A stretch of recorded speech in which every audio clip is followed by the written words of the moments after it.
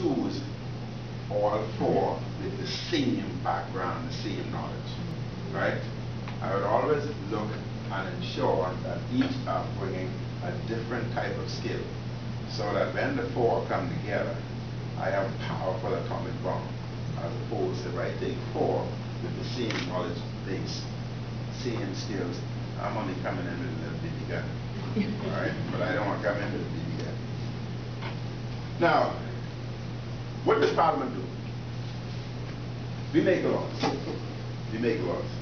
All right? Under the Constitution, Article 52, subsection 1 allows us to make laws. We make laws, why? We want to ensure that we have laws that will ensure peace and tranquility within the country.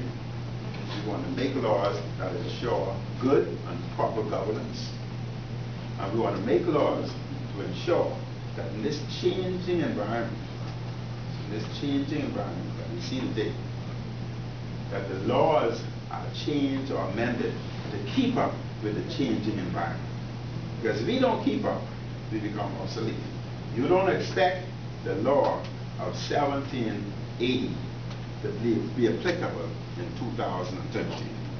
Some aspect of it may be applicable, but you must have amendments and sometimes complete um, change, a complete change altogether. All right. So these are what we do. So essentially, you really want to ensure that your laws will continuously improve the quality of life of your people. Right? So that the individual in Bain and Town has the same opportunity in terms of quality of life as the individual in Fritzy or whatever. That is what the government's responsibility is. The government is to ensure that there's absolutely no discrimination in quality. Everybody has the same opportunity to become whatever he or she has the um, knowledge to become. At least give them that opportunity. That's the government's responsibility. And Parliament must, must ensure that. Example, the environment. You know that there are a lot of environmental issues, and therefore you must ensure that your laws keep up with the environmental changes so as to protect the environment, because if you don't, the quality of life of their people will deteriorate, right? The entire thing with the oil exploration that we're talking about today, um, you would hear the government saying, go ahead, they're going to drill and whatever else. We're saying we have a problem, right? We're not saying don't drill. We're not telling you that. We're saying, listen, man, you cannot drill without proper law and proper regulations. Because you drill and they hit something and oil comes out, whatever, 75% of my employment depends on tourism, either direct or indirect. Tourism, marine life, sea, hotels, all of them, the environment plays an important part. All I'm saying is protect it. Protect it. All right? Don't be penny wise and pound fool. Yes, you go dig there, and yes, today you may come up and can infuse six billion dollars in the Bay economy. I'm just giving a factor.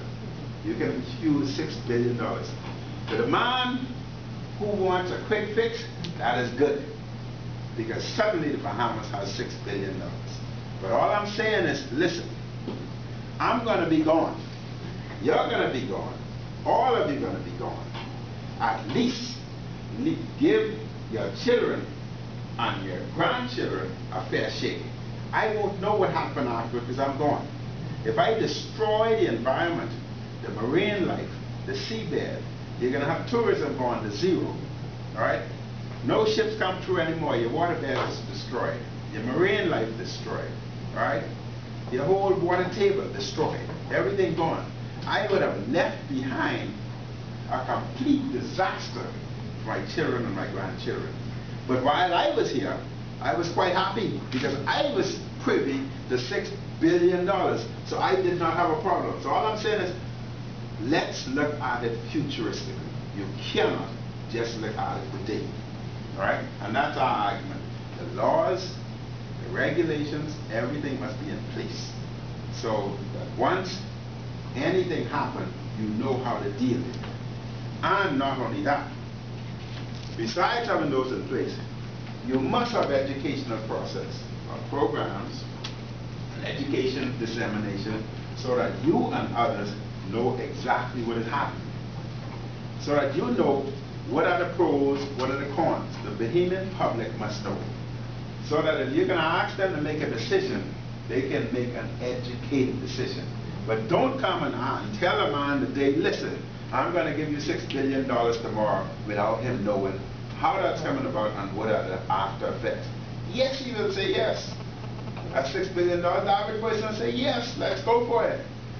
But he don't know what's going to happen tomorrow. All I'm saying and all I'm saying is let us look at what are the after effects to ensure that our future generation is protected so that the Bahamas can move on. So, so you can see that laws have to change and laws are amended and changed constantly to ensure that these things happen. We also make bills, right? So we make laws by passing bills, right? What a bill is, a bill essentially is basically a draft proposal a draft proposal of a law that would be brought to Parliament and we would discuss it before it becomes law. So it's a billing issue. There are different types of bills. There's what you call a public bill. A public bill would be one that would benefit the entire public, the entire Bahamas. All right? So you've made this bill to the advantage and to improve the quality of life for all. That's public. A perfect example of that was in 1992 when the FNM first came in.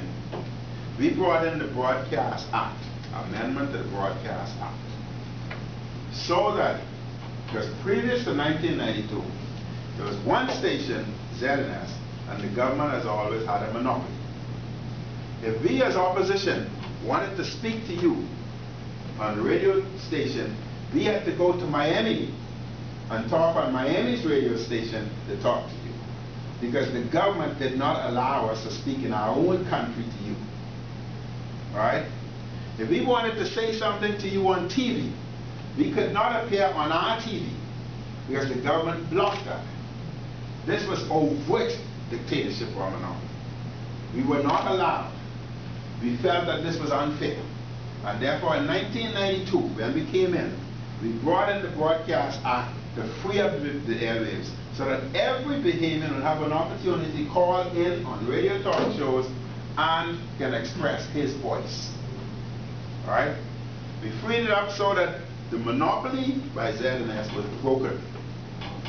So that other individuals, other radio stations can enter and that's democracy. That's free enterprise.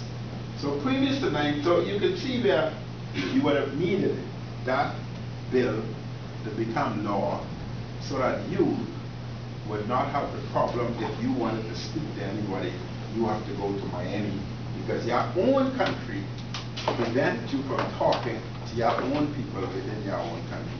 So 1992, we brought that, that um, law forward. I was also informed that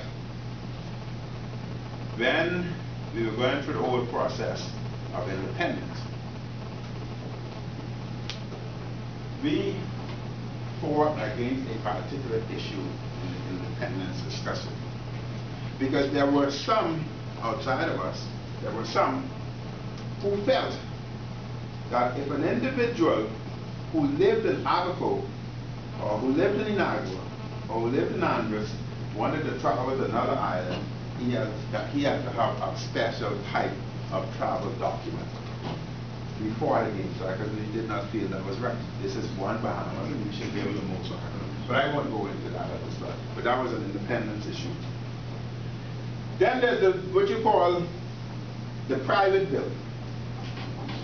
The private bill, that is a private entity who wants to have a law framed especially for their benefit because they feel that they're being taken advantage of.